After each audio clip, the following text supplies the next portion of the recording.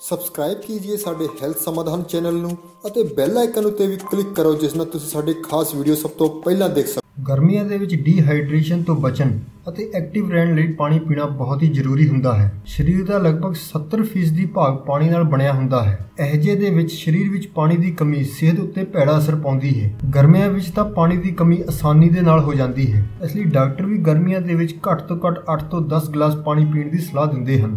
ਸਰੀਰ ਵਿੱਚ ਪਾਣੀ ਦੀ ਕਮੀ ਹੋਣ ਉੱਤੇ ਮੂੰਹ ਦੇ ਵਿੱਚੋਂ ਦੁਰਗੰਧ, ਰੁੱਖਾਪਨ, ਜੋੜਾਂ ਵਿੱਚ ਦਰਦ ਅਤੇ ਸਿਰ ਦਰਦ ਵਰਗੇ ਲੱਛਣ ਦਿਖਾਈ ਦਿੰਦੇ ਹਨ। ਜੇਕਰ ਤੁਸੀਂ ਵੀ ਪਾਣੀ ਦੀ ਕਮੀ ਤੋਂ ਬਚਣਾ ਚਾਹੁੰਦੇ ਹੋ ਤਾਂ ਸਰੀਰ ਵਿੱਚ ਇਹ ਸੱਤ ਲੱਛਣ ਦਿਸਣ ਤੇ ਤੁਰੰਤ ਪਾਣੀ ਪੀਓ। ਤਾਂ ਦੋਸਤੋ ਆਈਏ ਜਾਣਦੇ ਹਾਂ ਉਹਨਾਂ ਲੱਛਣਾਂ ਨੂੰ। ਤਾਂ ਦੋਸਤੋ ਸਭ ਤੋਂ ਪਹਿਲਾ ਹੈ ਮੂੰਹ ਦਾ ਸੁੱਕਣਾ। ਸਰੀਰ ਵਿੱਚ ਪਾਣੀ ਦੀ ਕਮੀ ਹੋਣ ਉੱਤੇ ਮੂੰਹ ਸੁੱਕਣ ਲੱਗਦਾ ਹੈ। ਜੇਕਰ ਤੁਹਾਡਾ ਮੂੰਹ ਵੀ ਵਾਰ-ਵਾਰ ਸੁੱਕ ਜਾਂਦਾ ਹੈ ਤਾਂ ਦੋਸਤੋ ਸਮਝ ਜਾਓ ਕਿ ਸਰੀਰ ਦੇ ਵਿੱਚ ਪਾਣੀ ਦੀ ਕਮੀ ਹੋ ਰਹੀ ਹੈ। ਅਜਿਹੇ ਦੇ ਵਿੱਚ ਤੁਸੀਂ ਤੁਰੰਤ ਜਾ ਕੇ ਪਾਣੀ ਪੀਓ ਅਤੇ ਜਦੋਂ ਵੀ ਤੁਹਾਡਾ ਮੂੰਹ ਸੁੱਕ ਜਾਵੇ ਤਾਂ ਤੁਸੀਂ ਪਾਣੀ ਪੀ ਲਵੋ ਤਾਂ ਦੋਸਤੋ ਇਸ ਤੋਂ ਬਾਅਦ ਡਰਾਈ ਸਕਿਨ ਸਕਿਨ ਦੀ ਰੁੱਖੇਪਨ ਦੀ ਸਮੱਸਿਆ ਸਰਦੀਆਂ ਵਿੱਚ ਹੁੰਦੀ ਹੈ, ਪਰ ਗਰਮੀਆਂ ਵਿੱਚ ਸਕਿਨ ਦਾ ਰੁੱਖਾ ਹੋਣਾ ਸਰੀਰ ਵਿੱਚ ਪਾਣੀ ਦੀ ਕਮੀ ਦਾ ਸੰਕੇਤ ਹੁੰਦਾ ਹੈ। ਸਕਿਨ ਵਿੱਚ ਪਾਣੀ ਦੀ ਕਮੀ ਹੋਣ ਦੇ ਕਾਰਨ ਗਰਮੀ ਵਿੱਚ ਵੀ ਸਕਿਨ ਤੁਹਾਡੀ ਵਾਰ-ਵਾਰ ਡਰਾਈ ਹੋ ਜਾਂਦੀ ਹੈ। ਅਜਿਹਾ ਹੋਣ ਉੱਤੇ ਤੁਰੰਤ ਡਾਕਟਰ ਦੇ ਨਾਲ ਸੰਪਰਕ ਕਰੋ ਅਤੇ ਜ਼ਿਆਦਾ ਤੋਂ ਜ਼ਿਆਦਾ ਪਾਣੀ ਪੀਓ।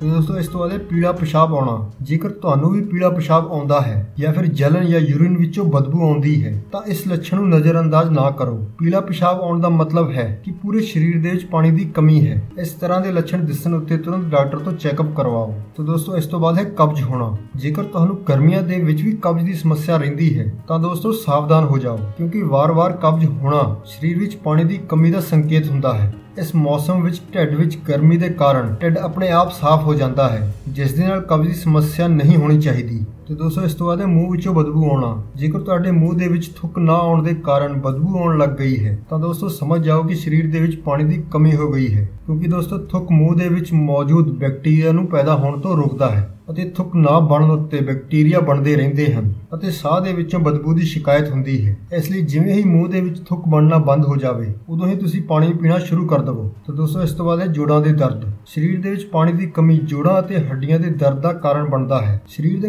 ਕਾਰਟਿਲੇਜ ਅਤੇ ਰੀੜ੍ਹ ਦੀ ਹੱਡੀ ਦੇ ਹਿੱਸਿਆਂ ਦੇ ਉਸਾਰੀ ਵਿੱਚ 80% ਦੀ ਭੂਮਿਕਾ ਪਾਣੀ ਦੀ ਹੁੰਦੀ ਹੈ। ਇਸ ਲਈ ਜੇਕਰ ਗਰਮੀਆਂ ਦੇ ਵਿੱਚ ਜੋੜਾਂ ਦਾ ਦਰਦ ਰਹਿੰਦਾ ਹੈ, ਤਾਂ ਤੁਹਾਨੂੰ ਸਮਝ ਲੈਣਾ ਚਾਹੀਦਾ ਹੈ ਕਿ ਸਰੀਰ ਦੇ ਵਿੱਚ ਪਾਣੀ ਦੀ ਕਮੀ ਹੈ। ਤਾਂ ਦੋਸਤੋ, ਇਸ ਤੋਂ ਬਾਅਦ ਹੈ ਥਕਾਵਟ ਹੋਣਾ। ਗਰਮੀਆਂ ਦੇ ਵਿੱਚ ਥਕਾਵਟ ਹੋਣਾ ਆਮ ਗੱਲ ਹੈ, ਪਰ ਹਰ ਸਮੇਂ ਹੀ ਥਕਾਵਟ ਮਹਿਸੂਸ ਹੋਣਾ ਅਤੇ ਜਲਦੀ ਜਲਦੀ ਥੱਕ ਜਾਣਾ ਸਰੀਰ ਦੇ ਵਿੱਚ ਪਾਣੀ ਦੀ ਕਮੀ ਦਾ ਸੰਕੇਤ ਹੋ ਸਕਦਾ ਹੈ। ਦਰਅਸਲ ਪਾਣੀ ਦੀ ਕਮੀ ਹੋਣ ਉੱਤੇ ਸਰੀਰ ਖੂਨ ਵਿੱਚੋਂ ਪਾਣੀ ਲੈਣ ਲੱਗ ਜਾਂਦਾ ਹੈ, ਜਿਸ ਦੇ ਨਾਲ ਉਸ ਦੇ ਵਿੱਚ ਆਕਸੀਜਨ ਘੱਟ ਅਤੇ ਕਾਰਬਨ ਡਾਈਆਕਸਾਈਡ ਦਾ ਪੱਧਰ ਵੱਧ ਜਾਂਦਾ ਹੈ। ਇਸ ਦੇ ਨਾਲ ਤੁਹਾਨੂੰ ਵਾਰ-ਵਾਰ ਥਕਾਵਟ ਅਤੇ ਸੁਸਤੀ ਮਹਿਸੂਸ ਹੋਣ ਲੱਗ ਜਾਂਦੀ ਹੈ। ਤਾਂ ਦੋਸਤੋ, ਇਹ ਤਾਂ ਉਹ ਸੱਤ ਸੰਕੇਤ ਸੀ, ਜਿਨ੍ਹਾਂ ਨੂੰ ਜਾਣ ਕੇ ਆਪਾਂ ਇਹ ਪਤਾ ਲਗਾ ਸਕਦੇ ਹਾਂ ਕਿ ਆਪਣੇ ਸਰੀਰ ਦੇ ਵਿੱਚ ਪਾਣੀ ਦੀ ਕਮੀ ਹੈ ਜਾਂ ਨਹੀਂ। ਤਾਂ ਦੋਸਤੋ, ਅੱਜ ਦੇ ਇਸ ਵੀਡੀਓ ਦੇ ਵਿੱਚ ਇੰਨਾ ਹੀ। ਜੇ ਤੁਹਾਨੂੰ ਇਹ ਟਿਪਸ, ਇਹ ਜਾਣਕਾਰੀ ਵਧੀਆ ਲੱਗੀ ਤਾਂ ਇਸ ਵੀਡੀਓ ਨੂੰ ਲਾਈਕ ਅਤੇ ਸ਼ੇਅਰ ਜ਼ਰੂਰ ਕਰਨਾ। ਅਤੇ ਜੇਕਰ ਤੁਸੀਂ ਅਜੇ ਤੱਕ ਸਾਡੇ ਚੈਨਲ ਨੂੰ ਸਬਸਕ੍ਰਾਈਬ ਨਹੀਂ ਕੀਤਾ ਹੈ ਤਾਂ ਸਬਸਕ੍ਰਾਈਬ ਕਰ ਲਵੋ ਅਤੇ ਇਸ ਵੀਡੀਓ ਨੂੰ ਦੇਖਣ ਲਈ ਤੁਹਾਡਾ ਬਹੁਤ ਬਹੁਤ ਧੰਨਵਾਦ।